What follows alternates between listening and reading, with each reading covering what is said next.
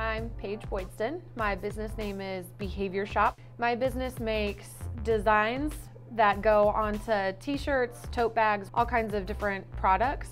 And the designs are themed around behavior analysis, both academics and practice. It's an online Etsy shop that connects to a third-party printing company. So when people order online, they just pick their design, their size, they pay, and then everything is automatically shipped to them from the third party. I think the biggest lesson I've probably learned is that it is 100% the way to go to have somebody helping you that is more familiar with business. I think that the SBDC has been the most important part of starting my business because there are so many components that I would have missed or would have come across later and had a lot of issues with had I not been getting such good advisement from the advisors here.